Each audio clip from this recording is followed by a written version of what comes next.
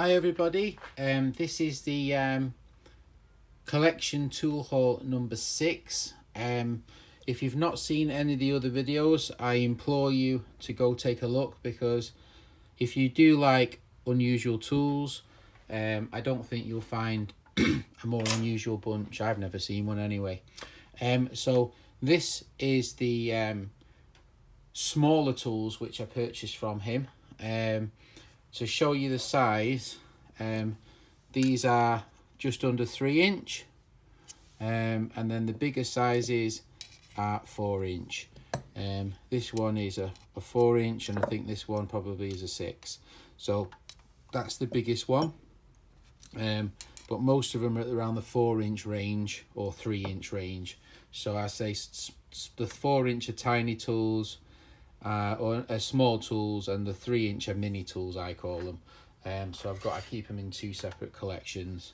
Um, so basically these are the small tools I got. Um, to be honest, I don't think I've seen any of them before. Possibly I may have seen one like this before on eBay, but very rare possibly, I don't know.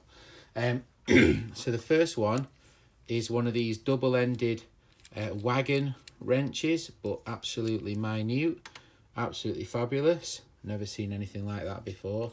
Um, these usually come in bigger sizes and they're for like wagon wheels and coach wheels and stuff like that. Um, these are very early indeed, and this is a nice example. Um, this one, I saw one very similar. I don't know if you can make out that name.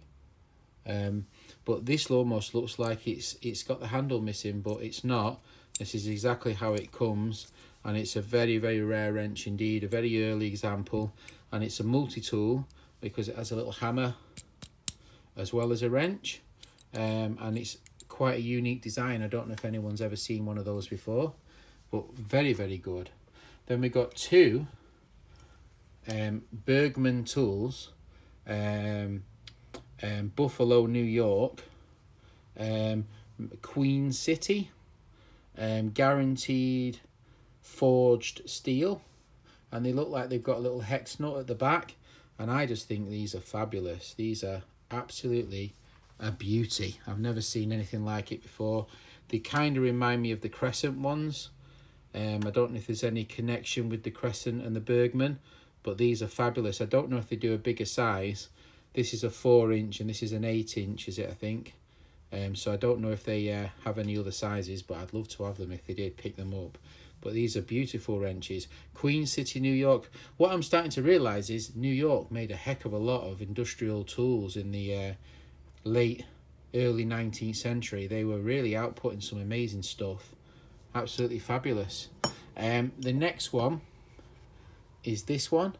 Uh, yet again, I'm not sure if I can read read it. It's, does that say improved? Made, does that say made in the USA? Let me have a look. Needs a good wire wheel. I'm not sure. That says made in the USA. I've, I've never seen anything like it before. It's got kind of two scalloped out holes in the middle, almost for like weight design, save weight design. Um, very interesting wrench. Never seen anything quite like that one either. A cool example. We've got here a miniature footprint wrench. Um, I think this is a just over a four inch, four and a quarter inch uh, footprint wrench. I did purchase these bigger brother on the flea market, but this is super cool with it being the smaller size. Um, I'm not sure if uh, Nash has got that size. I know he's got probably one of the biggest footprint collections I've ever seen, but I'm not sure. I don't know if he's got that size. You'll have to chime in, Nash.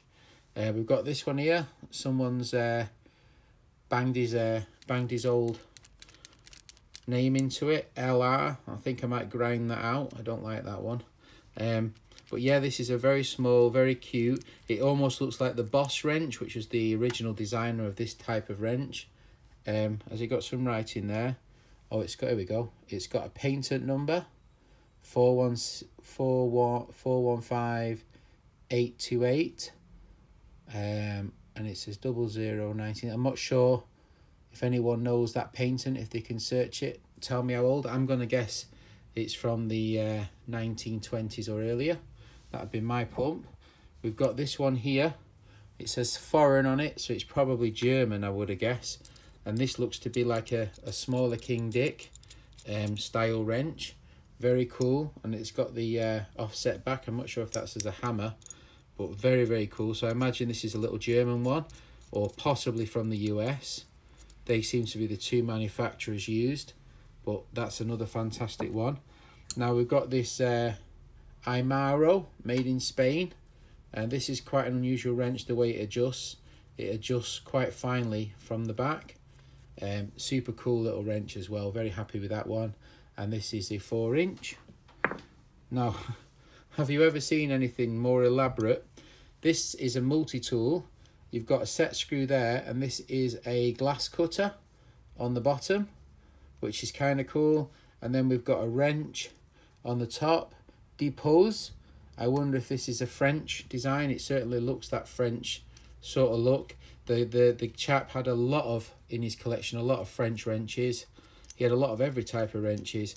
Um, he only sold me this one because he had two. Because he wouldn't have sold it, he said.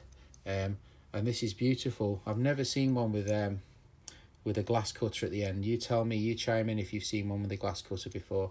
I don't think I have. So this is a really unusual example um, of, a, I think it's a French, if I had to guess, um, branded multi-tool. Very cool. Then we've got a Robert Bosch, um, made, made in, what does that say there? Germany, yeah, Germany, made in Germany.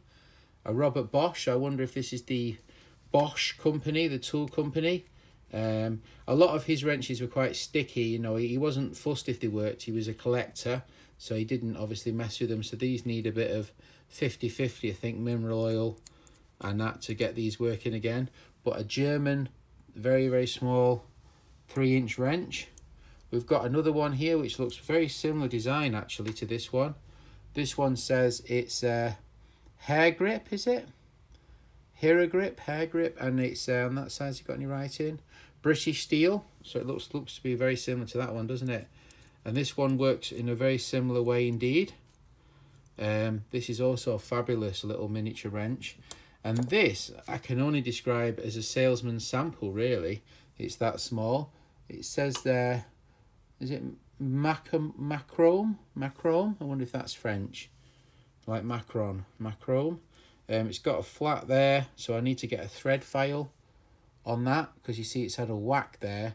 So it's flattened the thread so it won't turn. So I need to get a thread file on that to get that to work. But that's another cute little beauty. So we've got 1, 2, 3, 4, 5, 6, 7, 8, 9, 10, 11, 12, 13 very small and very unusual wrenches. He probably had a hundred small wrenches in his collection. I will insert a picture of one of his miniature drawers at the end for anybody who's interested. Um, please put in the description if you could only take one, which one would you choose? Which one do you think catches your eye? For me, I think it's a very hard choice, this one. But I think I'd probably choose this one because it's got, I've just never seen anything with a, with a, with um, with a glass cutter before. I think it's fabulous. Um, so yeah, thanks for watching. If you've got this far, don't forget to leave a comment. Which one would you choose out of those cool wrenches? All right, take care. Don't forget. Bye.